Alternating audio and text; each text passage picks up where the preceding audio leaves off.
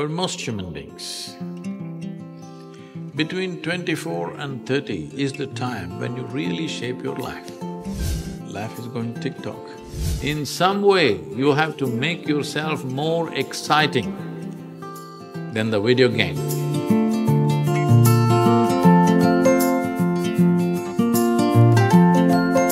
If you tend to it properly every day, every day, it will turn out to be something.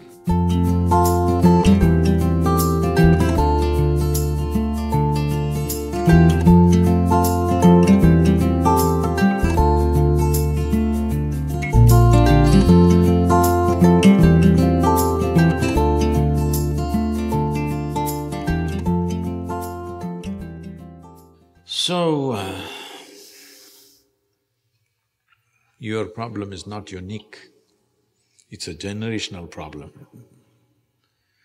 I don't know to what extent these numbers are right, but I don't think they're very far from truth. Some survey says young men aged between twenty-four and thirty spend a minimum of five and a half hours on the video games in United States of America. Maybe they're little off this way or that way, but I don't think they're too far away. See, in a young person's life, for most human beings, between twenty-four and thirty is the time when you really shape your life. Isn't it so? Hello? There's a time. Most people have just finished their education and that's the time they're really shaping their life, one way or the other. Whether you're going into your profession or crime or politics, I don't know what's your choice, but that is the time you're shaping your life. At such a time, a crucial time in one's life,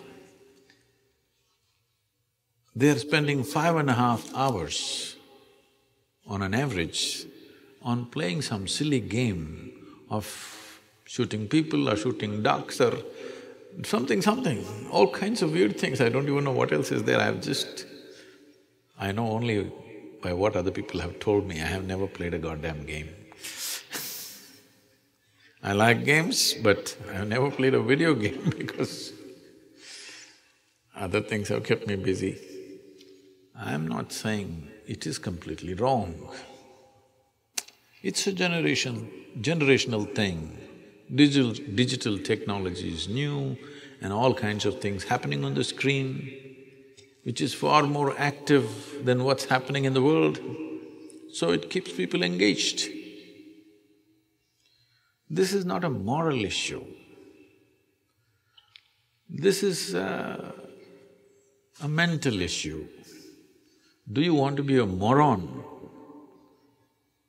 playing things which doesn't get you anywhere? All you do is bing in the end. Playing with yourself and playing with a machine or life is going tick-tock.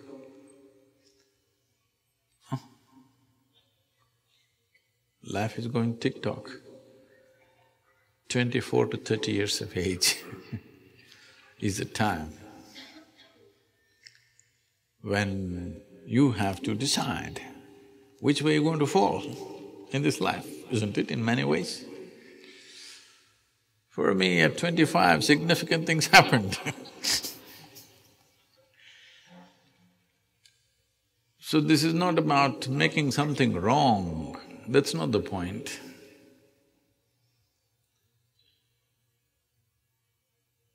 Well, maybe one day when there is a video game World Cup, if you become the champion of the champions, then maybe people will appreciate that also.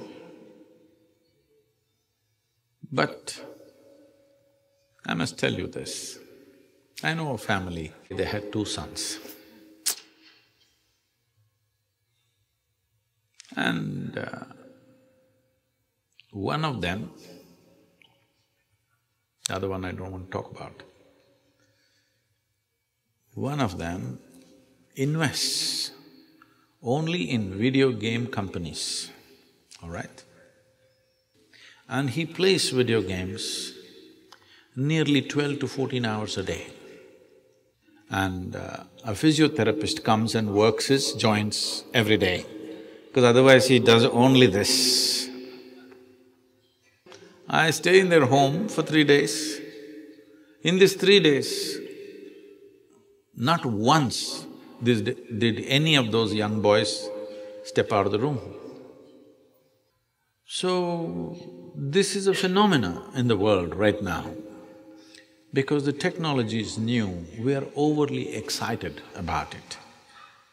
First thing is, uh, at the age of three, you made him play this, so he doesn't know any other game. Game means on the video, that's the only game he knows.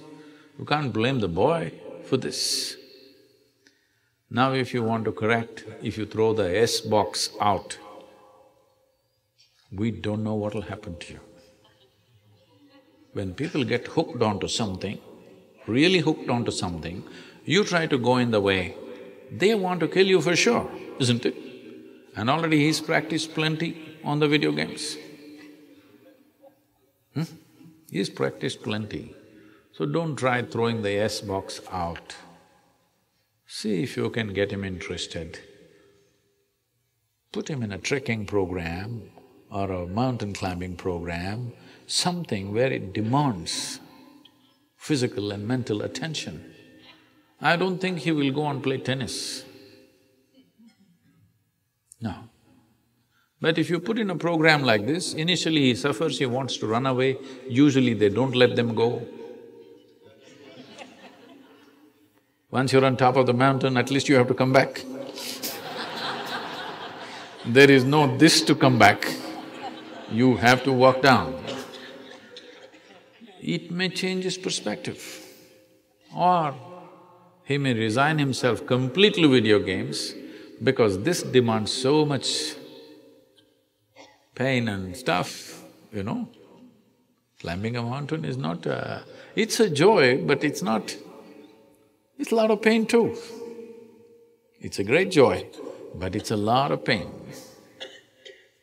Every time, every year, when I do this Kailash trek in Nepal and Himalayas, when you… in Tibet when we trek, I always think, enough, I've done enough of these things.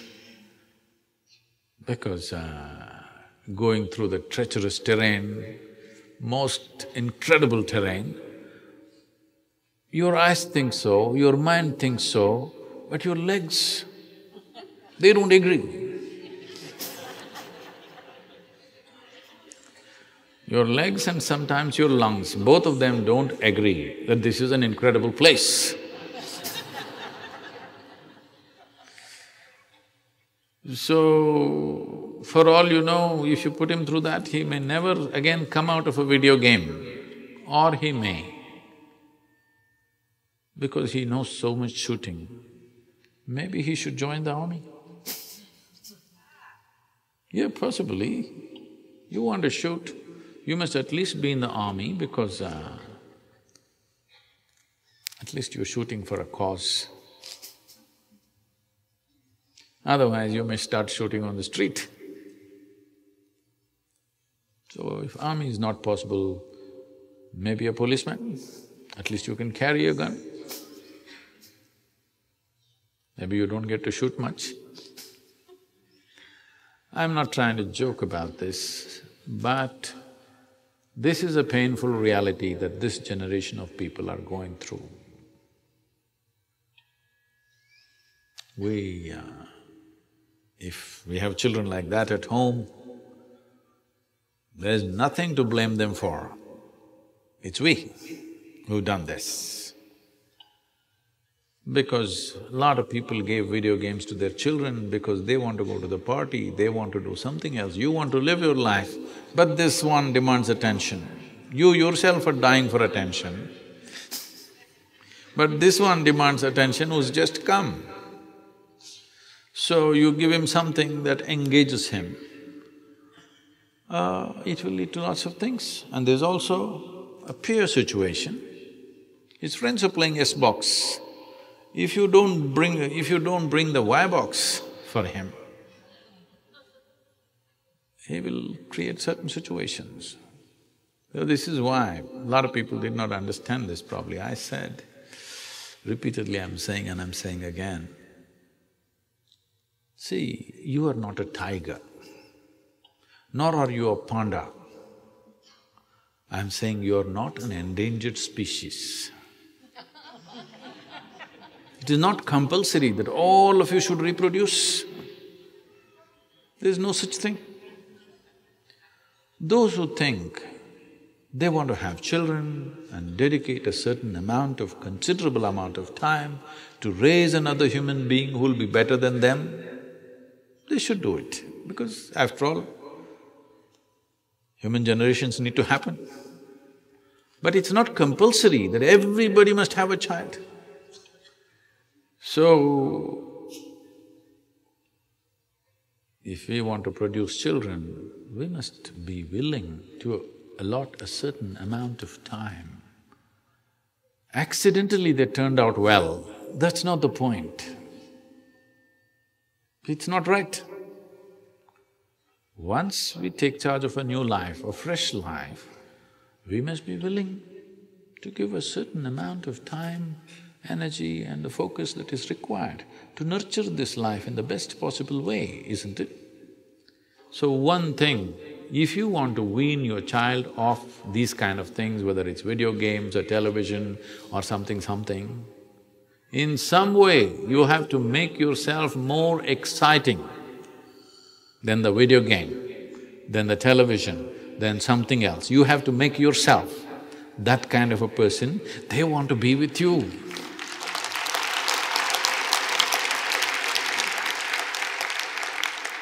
So, uh, you can't… a child is not a machine. You can't switch it one way tomorrow morning. So video games to enjoying the rainbow is not going to work like that. It's a constant cultivation. Hmm? Constant cultivation every day, every day, every day. It may work. There's no guarantee it will work. Hello? Those of you who raise children, you know, it may work. There is no such thing as it will work. There's no such thing. if you pay enough attention, it will yield good results. Otherwise, we don't know, because you're not the only one paying attention to them. There are so many others who are also paying attention and they may be more impressive than you. Yes? Somebody on the street corner may be far more impressive than you and they may influence them much more than you. Yes? So, Oh, Sadhguru, I just asked you about the video games. Now you tell me I made the mistake of bearing a child. I'm not saying that. All I'm saying is, this is the consequence of handling a living being, including yourself. If you tend to it properly every day, every day, it will turn out to be something. If you think once in twelve years you can attend to it, then it's only by accident. When something turns out well or bad, by accident, you will remain in extreme anxiety even if it turns out well, because it's by accident. You must understand it's not about fixing your child's life, it's about fixing this life. If this is fixed, this will create the right ambience where the child grows up. It is sub substantially proved that in the making of life, for most human beings, over eighty percent of their life is determined by what they're exposed to rather than the genetics. So, you have the twenty percent already in your hands, genetics. Another eighty percent is there. Of course, children go to school, of course they play on the street, but you must keep your percentage over fifty percent at least, isn't it? Because you have the advantage of twenty percent genetics and till they're 12, 15, at least you have some control over their life. So your share of influence must be at least 60, 70 percent, isn't it so? But if that has to happen, you have to do something about yourself that they cannot help looking up to you, not in fear. If they look up to you in fear, aversion will come. Once they find their feet, they will teach you another lesson not in fear, but they look up to you because they think you're fantastic. So you have to do some circus to prove that you're fantastic. That they start looking up to you in such a way that they will allow you to influence them.